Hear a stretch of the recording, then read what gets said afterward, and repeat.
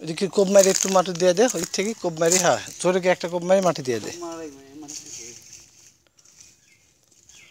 কোপ মারলে কি আলিশ লাগতেছে কোপ মারলে তো এই যে হাই- হাইলি গেল এ- হ্যাঁ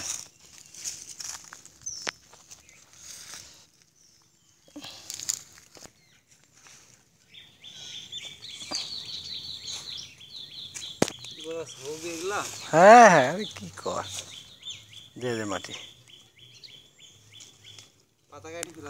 না না থাক পাতা থাক সমস্যা নেই। আরে পাতা কাটিস না পাতা কাটিস না এমনি ওটা লাগিয়ে যাবে এভাবে। এটা ভীষণে গোড়া আছে যে। মোড়া গোড়া আছে বুঝছ না? ওটা পাউস তো।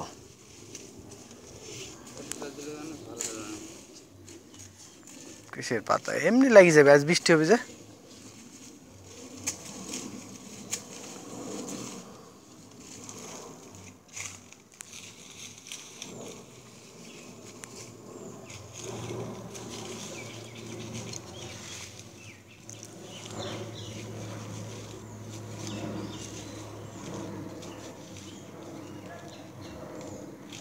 তো ফাঁকা ফাঁকা হয়ে গেল মনে হচ্ছে একটু ঘন করতে হতো। পাঁচ পা দিতে পাঁচ পা পর পর দিতে হবে বেশি হয়ে গেছে। দূরত্ব।